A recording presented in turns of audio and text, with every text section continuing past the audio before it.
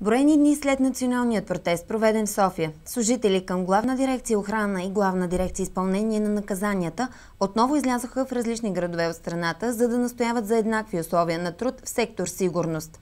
Пореден трети протест на служители на съдебна охрана в Кюстендил и Дупница и надзиратели от затвора в Бобов дол се състоя и пред съдебната палата в Кюстендил. Както от преговорите с министра на правосъдието, така и от протестите, резултатите до момента са нула.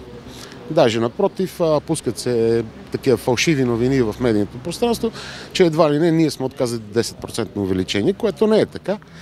На среща с министра на финансите, която беше инициирана от министра на правосъдието, беше ни предложено 5% увеличение на заплатите. Ако смятат, че 5% увеличение, което го дадоха преди и след това ни обещаха още 5%, са 10%, че сме отказали, не е верно. Беше ни обещано предложено да ни увеличат заплати с още 5%, което според нас е много несериозно и унизително. Чуваемостта е нулева, обещанията си остават от управляващите и никой не го е грижа за нашето състояние.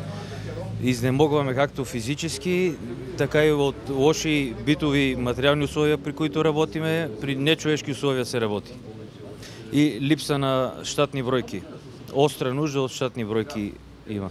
Исканията им остават непроменени. Служителите настояват за 20% увеличение на заплатите, изравняване на трудовите възнаграждения с тези в Министерството на вътрешните работи и увеличаване на щатните бройки в системата.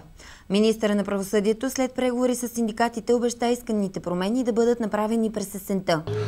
От юни разговаряме с министъра на правосъдието, за да може да бъде а, изготвен актуален бюджет, за да може да си вършим ние работата. Тя обещаваше, че това ще се случи. Тя обещаваше и казваше, че нашите искания за изравняване на заплатите ни с тези в МВР са основателни и тя ще направи всичко възможно това да се случи. Но нищо не се случи. В такъв смисъл, че тя не излъга. И протестите са следствие на това, че тя ни излъга. И ние не можем да вярваме на това, че а, дали май месец ще трябва да се преразгледа бюджета и евентуално да се актуализира или септември ще бъдат поставени нашите условия. Това е всяка година. Изобщо не ни успокоява, защото всяка година е едно и също. Следващия бюджет, следващия бюджет и, и пак се случва същото. Нашите искания, ако не се... Не, не идват нашите искания, които искаме, замислям се много да се маха от системата. Никой не, не го обърка това уверенията. Докато не стане, излизаме на протест. Какво ви мотивира да продължавате да работите при тези условия?